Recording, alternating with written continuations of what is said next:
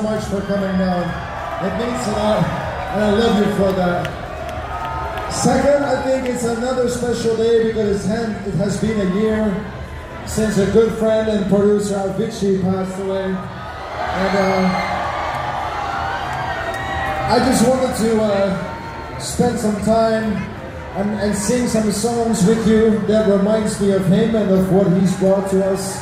Hopefully you guys will like it. It's a special mashup for some special Avicii songs. Tim, this one is for you.